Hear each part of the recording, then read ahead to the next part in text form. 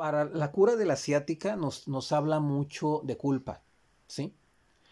¿Dónde, dónde, dónde ataca la ciática?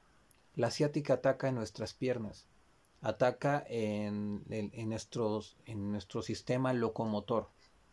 Estamos caminando hacia un objetivo.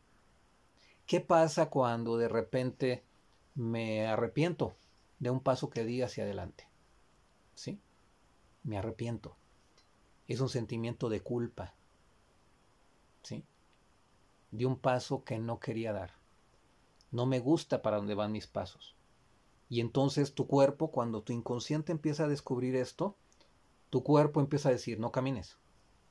Y tú sigues caminando, te te estoy diciendo que no camines hacia allá. Es peligroso. O sea, va en contra de tus, de tus principios lo que estás haciendo, por eso tienes un sentimiento de culpa. Y como tú no haces caso, tu cuerpo tiene que empezar a producir un dolor. ¿Sí? Un dolor. Porque nuestras creencias, nuestros pensamientos y creencias son tan aferrados que, sigo, sigo remordiéndome. ¿Se acuerdan de lo que dije de la serpiente ahorita? Sigo, sigo, sigo, sigo en el problema y le doy una vuelta, le doy otra, le doy vuelta. Es un sentimiento de culpa.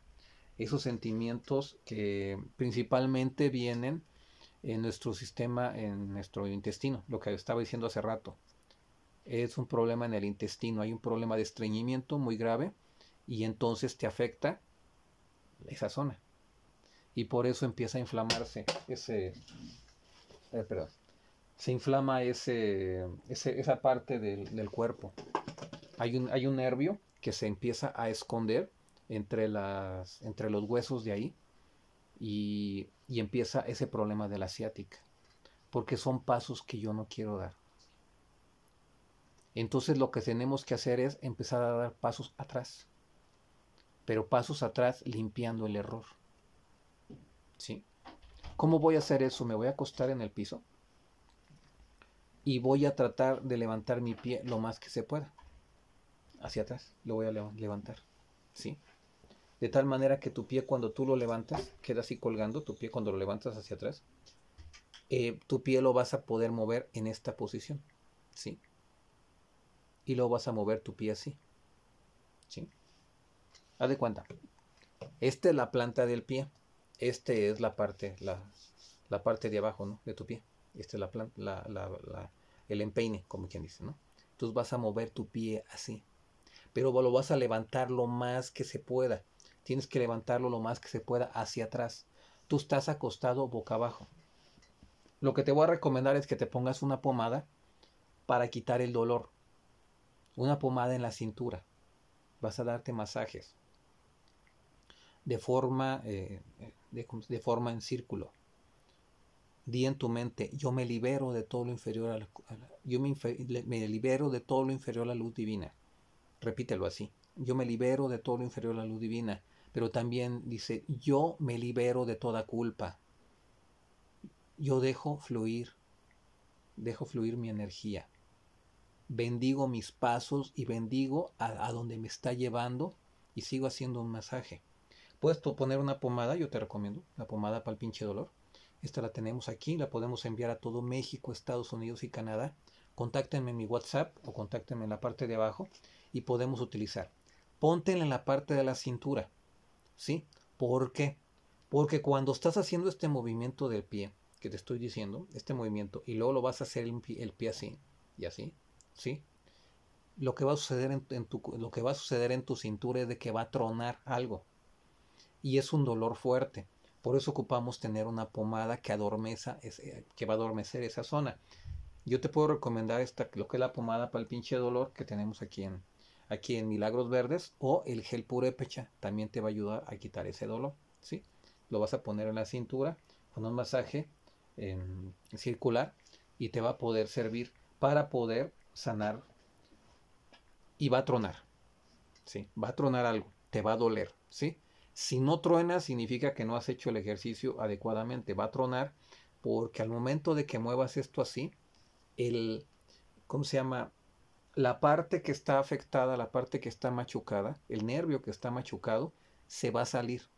Y cuando sale, duele, ¿sí? Esa es una opción. La segunda opción para, para hacer que se salga ese nervio de ahí es que tú te acuestes en zona fetal. ¿Qué zona fetal?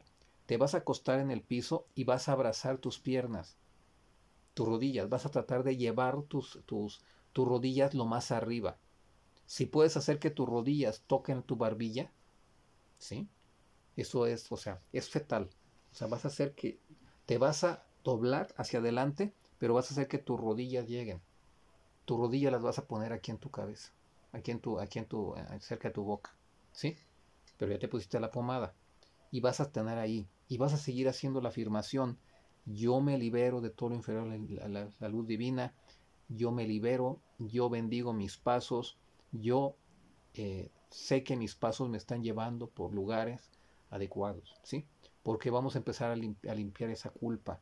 La culpa no es, la culpa es lo que tú creaste. Son ideas que de repente tú empezaste a jalar de la, de más gente.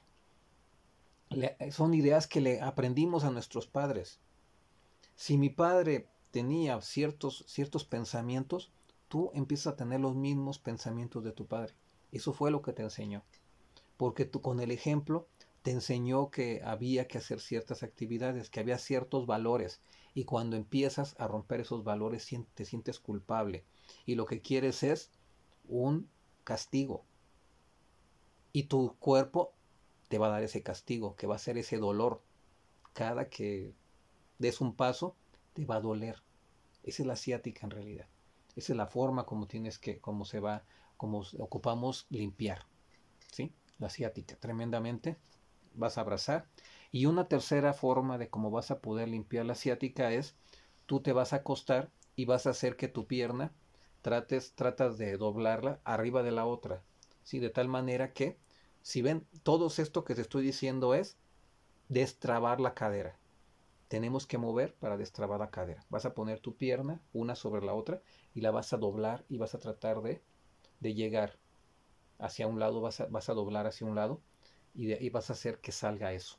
Claro, cuando salga esto va a doler y ocupamos de una pomada, ¿sí? Ya sea la pomada para el pinche dolor o la pomada, eh, el gel puro de pecha que te va a ayudar en esos casos, ¿sí? Digo, aquí los tengo yo, pero Siempre les había explicado, pónganse una pomada de, con árnica, pero no les mostraba mis productos ahorita ya. Como ven que mis canales no están monetizados, pues bueno, hago la mención y a las personas me están pidiendo, eh, por decirlo así, para la pomada, para el pinchador, para mis productos, yo ando buscando en Estados Unidos personas que quieran ganar dinero, personas que quieran distribuir los productos, porque hay muchas personas que piden los productos a México y sale muy caro. Si quieren nomás una sola pomada, pues tienen que pagar todo el envío hasta Estados Unidos y nomás están pidiendo una sola pomada. Entonces, si alguien quiere vender, pues pediría una caja completa y esta caja completa pues nos va a ayudar para le sale más barato el producto en Estados Unidos, ¿sí? O en Canadá. Eh, bueno, eso es. Vamos a seguir. Ya nos tenemos casi que ir. Ya casi son las 10. Ya casi nos vamos. Vamos a ver. Se ha unido. Lamentablemente, pues nomás eh, no ha habido muchos, muchos, no ha habido muchos chiles. Hoy no les gustó. Entiendo que no les gustó ahora mi, en vivo, ni modo, eh, no todos los días. Yo digo, yo traté de echarle todas las ganas, traté de, de, tratar de conquistar, estoy tratando de contestar sus preguntas adecuadamente y entiendo que no es valioso. Yo entiendo que esto que le estoy entregando yo a ustedes no es valioso, lo entiendo. Lo único que me está invitando es a, tener mejor, a hacer mejor mi trabajo. Em, y bueno, es lo que yo les prometo. Mm, trataré de traer otros temas más, más, un poquito más diversos, unos temas un poco más interesantes. Eh, lamentablemente yo no voy a, no, no voy a poder eh, hacer lo que hacen algunas chicas de que se desvisten para que poder conseguir eh, seguidores y todo eso. Yo he apostado por la darles contenido, darles contenido y darles información, información que te pueda curar, eso es a lo que yo he apostado. Y, entiendo que muy poca gente le interesa esto. Vean, vean cuántas personas están siguiendo. Es muy poca. Pero yo te invito a que compartas esto. Vamos a llegar a esas gentes que en verdad le importa. Si tú no te parece valioso esto, eh, yo lo entiendo. Em, por favor, lo único que te pido es mm, compártelo para que podamos llegar, ay, podamos llegar a esas personas que en verdad sí les está interesando. Gente que sí pueda considerar valioso este conocimiento. ¿sí? Ya tenemos el nuevo curso de naturismo. Vean los números, entren y vean cuántas visualizaciones tienen. El primer eh, eh, da risa, como no, en las últimas lecciones no hay 500 personas que les guste esa lección. No hay 500 personas que vean ese video. ¿sí? Y es un curso que le estoy entregando. Es un tesoro. Yo lo que hago el curso es como si tuviera oro, oro puro, que te digo, aquí está el oro puro. ¿Y saben qué están diciendo? No, yo no lo quiero. No quiero eso. Entonces, eso es, es complicado. Eh, mi ser no lo entiende. Pero, pero yo entiendo que voy a llegar a aquellas personas. Y lo único que te pido es que me ayudes. Dale un tap tap a la, a la pantalla. Dame ese tap tap para que decirle a TikTok decirle a este, a este algoritmo, decirle, hay gente que sí le gusta esto y me pueda recomendar y podamos llegar a esas personas que tienen un problema, problemas difíciles, problemas de lupus, problemas de cáncer. Yo me dedico a mis tratamientos. Si tú conoces a una persona que tenga un problema de cáncer, ponlos en contacto conmigo. México, Estados Unidos y Canadá podemos enviar tratamientos completos. Hay casos de éxito tremendos que, que ya tenemos Em, con, con, los tratamientos, ¿sí? Claro, la gente que se tome el tratamiento, porque no con que compren el tratamiento, no que lo pidan, con eso van a curar, no, tienen que tomárselo, ¿sí? Tiene que haber disposición de la persona para tomárselo, porque me han hablado casos muy tristes de personas que yo les envío el tratamiento y a veces llegamos tarde. Y es cuando me da coraje. El otro día me hablaron de, de, Oaxaca, de un niño que mm, el, papá me dice, en realidad no es el papá, era, el, abuelo, y me habla y me dice, ¿sabes qué? Mi hijo tiene un cáncer, ¿sí? Y era un cáncer muy grave. Y me dice, ocupa el tratamiento y le enviamos el tratamiento. Este niño vive ahí entrando a Oaxaca, hay una caseta. En, se han ido ustedes a Oaxaca. Hay una caseta antes de, de caseta para llegar a, y en ese pueblito vive el niñito. Entonces yo le envié el tratamiento, pero llegó el tratamiento a Oaxaca, a la, ciudad, a la capital de Oaxaca. Llegó el tratamiento y el papá se puso muy grave el niño y el papá no pudo ir a recoger el tratamiento. Este niño fallece, ¿sí? El tratamiento ya estaba en Oaxaca. Eh, entonces me habla y me dice, ¿sabes qué? Ya recogí el tratamiento, murió mi, hijo, era su nieto, pero lo tenía como su, lo cuidaba como su hijo. Los papás no sé, no sé qué pasó. No sé por qué el abuelo estaba cuidando el nieto, haciéndose cargo cuando tenían que haber sido los papás. Ustedes saben lo que opino al respecto de que de los papás irresponsables que dejan a cargo de los de los abuelos a los hijos. No, si no vas a tener hijos, si no vas a cuidar a tus hijos, no los tengas. No los abandones con tus abuelos. Los abuelos ya ya cuidaron, ya te cuidaron. Ahora cuidar nietos, no no hagan eso. Entonces llegó el tratamiento, le llegó al, le llegó al el abuelo y me dice, ¿sabes qué? Aquí está el tratamiento completo. Yo le dije, mira, no hay problema. Tú te voy a mandar una guía, regrésame el paquete. Yo voy a pagar el regreso del paquete y te voy a regresar tu dinero íntegramente. ¿Sí? No hay problema. No lo abriste, no se lo tomó, no te pude ayudar. Y yo estaba muy triste, me puse muy triste porque dije, Señor, ¿por qué me, por qué me, me diste falsas esperanzas? ¿Por qué le hice falsas esperanzas al niño? ¿Por qué le hice falsas esperanzas al, papá, al abuelo? De que podía llegar el tratamiento. Llegó el tratamiento, pero no lo alcanzó a probar. Y falleció el niño. ¿Sí? Entonces, son los momentos que uno dice, bueno, y le pusimos todo, todas las ganas, todas las ganas. Era en aquel tiempo en el que yo vendía el tratamiento con el jugo de calanchoe. Ahorita ya estoy empezando a, ya hay una persona que me va a empezar a hacer el jugo de calanchoe y vamos a volver a, vender ya el jugo de calanchoe que cuando la gente me conoció, a don Calanchoe lo conocieron, era por el jugo de calanchoe. Después, lamentablemente, la persona que hacía el jugo de calanchoe, al momento de que empezamos a vender tantos jugos, y vean, la gente se curaba con ese jugo tremendamente, era tanto el dinero que le estaba llegando a esta persona, al que lo fabricaba, yo nomás prácticamente me llegaba y yo lo pasaba, o sea, nomás tenía una ganancia muy pequeña y yo pasaba el jugo más adelante y estaba ayudando a mucha gente. Y, y ese fue, un tratamiento en eso. Después el abuelo le pasó, pasó como un mes y me dice, ¿sabe qué? Dice, no le he puesto el, paquete de regreso porque yo le envié la guía, le envié la guía de, de esta feta para que me regresara el paquete y no me lo regresó, no me lo regresó y me dice, ¿sabe qué? Encontré a una persona que está interesada en el jugo y, ellos se van a quedar con el paquete y ahí terminó, ¿no? Ya después esta feta me regresó el costo de la... Yo pedí que me regresaran, como no se usó la guía, me regresaron, me regresaron el dinero de la guía que yo había pagado para que me lo regres, para que retornara el paquete que estaba cerrado. El señor no lo había abierto. Y, y ya después, bueno, el paquete llegó a otra persona y después el señor se comunicó conmigo, oiga, ocupamos otro paquete. Le digo, ¿por qué? Y dice, no, es que esta persona le llegó el paquete y esta persona ha tenido resultados muy tremendos, resultados muy buenos. Y después empecé a comprender que el paquete no era para el, para el niño que falleció. El paquete era, es, verdaderamente era para esta persona. Y llegó tarde porque iba a ser para otra persona. Ese paquete y pudimos ayudar a la sanación. Esto fue en Oaxaca. Y les puedo platicar historias tremendas. Hay una historia tremenda también en, Tijuana de una chica que tenía un cáncer en, el cerebro, una bolita, del tamaño de un limón. Imagínate un, tumor dentro del cerebro, del tamaño de un tumor.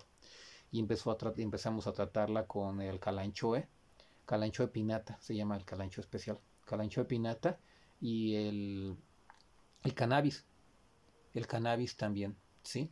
A ver, aquí me dice, vamos a ver qué pasa aquí. Ah, mira, me apareció otra persona. Pero está, pero está, ¿cómo se llama? Hablando de otra cosa. No, están en un concierto. ¿Qué pasó aquí? Yo pensé que iba a ser que me iban a, que íbamos a poder platicar con alguien. No, hoy no. ¿Cómo le hago aquí para, para borrarlo?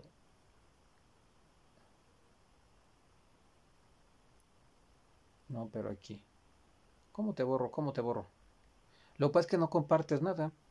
Yo pensé que íbamos a poder platicar con alguien, pero por eso acepté. Acepté a la persona, pero anfitrión, ya, se borró. Gracias por haberse ido. se fue. Entonces, eh, bueno, Ah, le estaba platicando de esta chica del tumor en el cerebro. Entonces podemos utilizar con, con el calanchoe pinata junto con el calanchoe, con el, con el, cannabis. Las gotitas de cannabis. E, ese tumor se desapareció y era del tamaño de un limón. Entonces se logran, hemos logrado cosas maravillosas. Una vez una señora de Irapuato me habló llorando de emoción la habían, la habían dado de alta, un cáncer en el seno. Me habló y, ella llorando y creo que también yo estaba llorando, estaba con los ojos llenos de así, pues no me salieron las lágrimas como tal, pero estaba con una emoción tremenda que me estaba compartiendo por teléfono la persona. Y entonces yo me quedo con eso, me quedo con esas personas de que yo puedo llegar. Entonces, si ustedes me pueden ayudar a llegar a estas personas, es salvar vidas. Entonces, a ese nivel estamos diciendo. Dice aquí, si me pide y si me pide algo dulce, ¿qué significa? Eh, si te pide algo dulce, significa que le falta felicidad a tu vida.